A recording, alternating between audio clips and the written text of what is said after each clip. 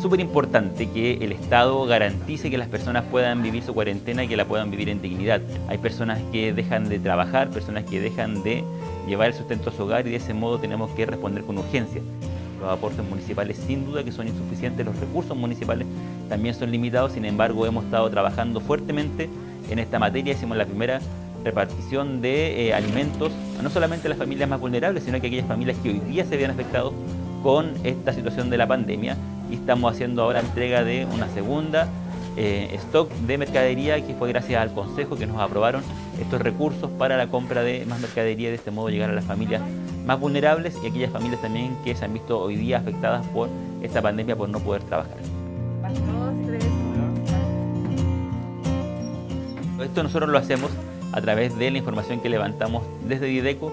y desde diferentes oficinas de Dideco que tienen que ver con personas, por ejemplo, que trabajan independientes, personas que están dentro de las fichas de protección social, gente más vulnerable y aquella clase media que hoy día se ha visto afectada. Y por eso es que nosotros ya llevamos más de 40 días trabajando en la entrega de alimentos para las familias de Arica.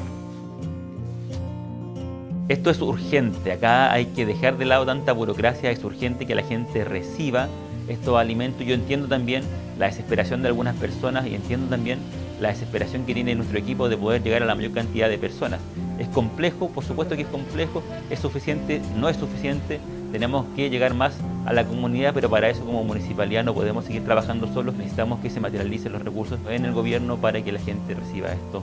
estos aportes materializados en este caso en cajas de alimentos.